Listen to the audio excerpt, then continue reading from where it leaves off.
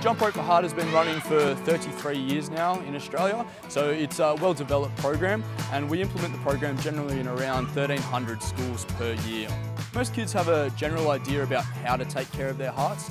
I don't think they fully understand how big of an issue heart disease is in Australia. One in four children aged between 5 and 12 are currently overweight or obese. It's really important that schools take action and do something about that. Jump Rope for Heart is the perfect platform to start these physical activity behaviours and hopefully reduce the rate of childhood obesity in Australia.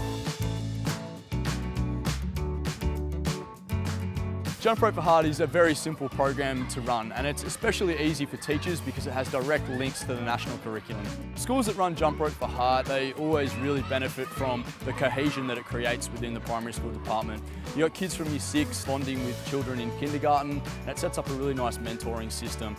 With less and less time in schools for certain activities, it's really important we recognise the link between physical activity and academic performance. Schools are always striving to achieve their academic performance, and if we can do that through increasing physical activity at the same time, then it's a win-win for that student.